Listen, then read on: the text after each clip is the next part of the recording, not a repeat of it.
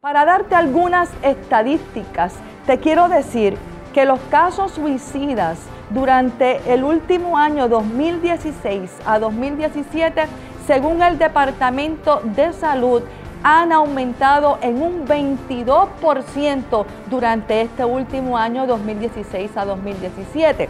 En adición, los grupos de edad que han sido más impactados son los jóvenes, amados. De hecho, es la segunda causa de muerte entre los jóvenes y entre los grupos de edades de 10 a 39 años en Puerto Rico se registraron en el último año 2016 al 17 72 muertes. También le sigue al grupo de edad de 50 a 59 años con 51 muertes durante el año 2016 al 17.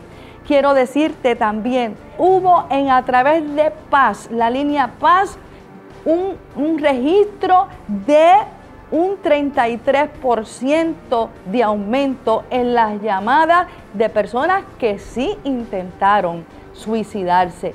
Con mucha preocupación y tristeza tengo que decirte un dato muy alarmante que está ocurriendo en Puerto Rico.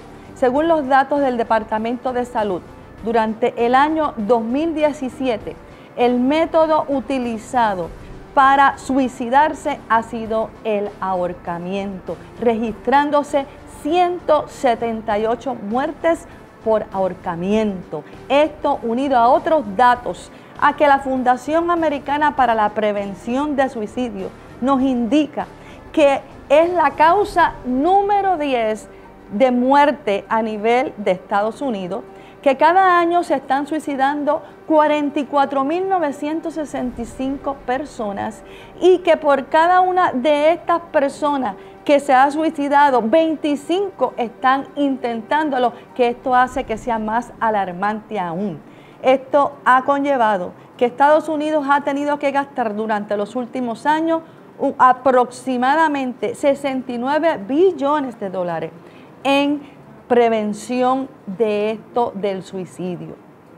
La Organización Mundial de la Salud indica que aproximadamente 800 mil personas se están suicidando anualmente.